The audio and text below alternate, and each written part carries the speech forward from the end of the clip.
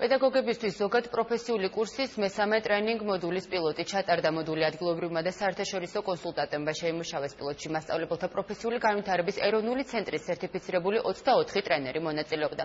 პროექტში მიმდინარე წლის აპრილ-მაისის თვეებში მთელი საქართველოს მასშტაბით მე-7 და მე-12 კლასების მათემატიკის, ქიმიის, ფიზიკის, ბიოლოგიის, გეოგრაფიის და ინგლისური ენის საჯარო სკოლის 7000-ზე მეტი მასწავლებელი ჩართობა, რომლებმაც უკვე გაიარეს ტრენინგი პირველი და მეორე მოდულის მიხედვით.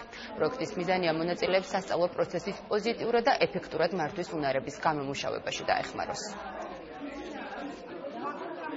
ამ ტრენინგის ფარგლებში მე უფრო მეტად კარგად გავერკვევი სასწავლო სტრატეგიებში, რომელიც შემდგომ ხელს შემიწყობს საგაკვეთილო პროცესი უფრო პოზიტიური გავხადო, საგაკვეთილო გარემო უფრო ეფექტური იყოს.